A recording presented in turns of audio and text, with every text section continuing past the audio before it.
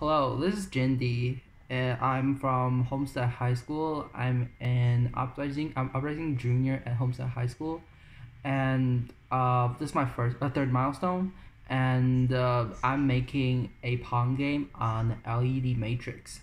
So uh, this is what I made for the past week. So uh, before it was just a ball bouncing around, and now I added pedals and I can control the pedals by using a breadboard that's uh and connected to a knob, and then the knob and then if I turn on the knob or switch the knob, the pedal will move, and then when it, whenever it bounces on the pedal, it will it'll, it'll bounce uh it'll, it'll bounce with the other direction.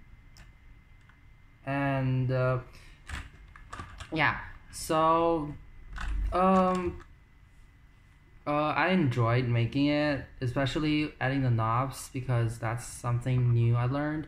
And also, I had a lot of struggles making the paddles work because they work different as walls. And um, uh, yeah, and I'll probably, because it's not fully finished, I'll probably finish it because only one of the knobs working and one, uh, like one of uh one controls both pedals so i'll work on it.